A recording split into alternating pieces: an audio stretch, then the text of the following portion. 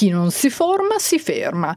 Vale in tutti i campi, in questo caso parliamo di meccanici ed elettrauto che hanno ancora una manciata di mesi a disposizione per acquisire la qualifica di meccatronico. In caso contrario, dopo il 5 gennaio 2023 saranno costretti a chiudere. Ad oggi purtroppo di quelle officine interessate sono ancora una sessantina, in quanto non si sono adeguate ad una legge che è del 2012, la 224, dove è stata data questa opportunità, possibilità di adeguarsi allora con una proroga di 5 anni. Oggi siamo alla scadenza partenza per ottenere questa qualifica. Forte del successo del corso 2021, cui parteciparono officine e concessionari di Sondrio, Pavia, Como, Bergamo e Lecco, e preso atto che non ci saranno ulteriori proroghe, Confartigianato ha deciso di organizzare una nuova edizione del corso per il prossimo autunno, addirittura gratuita per gli associati e a un prezzo simbolico per chi non lo è. L'ultima occasione, l'ultimo treno prima del, della deadline del 5 gennaio 2023 ed è un treno gratuito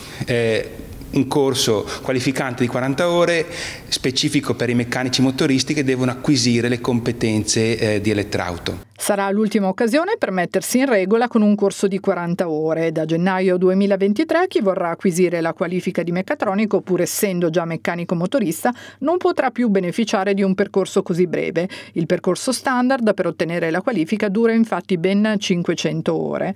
Da sottolineare inoltre la gratuità del corso, a differenza degli 800 euro chiesti da Asconauto per il corso di 40 ore in due giornate organizzato a luglio a Perugia, o dei 2400 euro euro più IVA delle 500 ore del percorso standard che si può seguire online. Consiglio a tutti veramente di, di, frequentarlo perché non, non, ci sono altre alternative salvo appunto quella di, di, assumere una persona o inserirla in società, una persona con la qualifica già, già, già a posto insomma. Dal 5 gennaio 2023 o si è meccatronici o, o, non si è. Esiste una sola alternativa al corso per ottenere la qualifica da meccatronico, il diploma conquistato a scuola. Ci sono invece dei ragazzi che uscendo da scuole titolate, quindi UNITIS quant'altro, avranno già questa qualifica, assumendo questi ragazzi c'è la possibilità tramite loro già di, di poter operare sulle autovetture. Ma se il tempo stringe ancora per una sessantina di officine della provincia, c'è anche chi ha già provveduto da tempo ad adeguarsi. L'adeguamento a questa normativa permette di seguire la macchina in un un modo migliore per aggiustare adesso una figura come meccanico come inteso di una volta non, si, non riesce più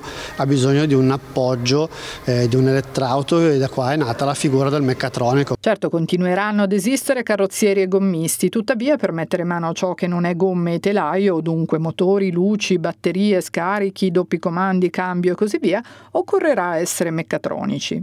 Non è necessario che tutti tutti coloro che lavorano in officina siano, siano meccatronici assolutamente, però per ogni, ogni azienda o, o, se l'azienda ha più sedi operative, uno per ogni sede operativa, che ci sia una persona per ogni sede operativa dell'azienda. E anche qui ritorna il problema della mancanza di personale. Noi anche in questo periodo stiamo cercando, so che anche tante concessionarie, altre officine cercano e il problema è proprio quello che non si trova personale. Il lavoro c'è, è il personale che manca.